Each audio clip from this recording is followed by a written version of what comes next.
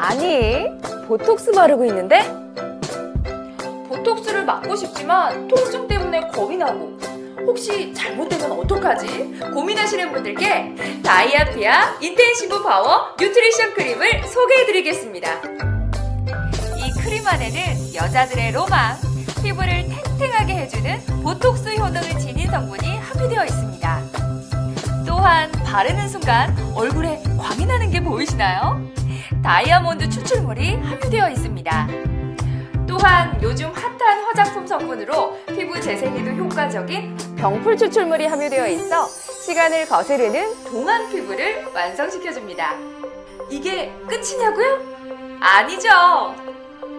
달팽이 추출물이 함유되어 주름 개선과 탄탄한 피부 보호벽을 만들어주고 핸드크림에도 자주 볼 수 있는 시어버터가 함유되어 있어 보습 효과가 뛰어납니다.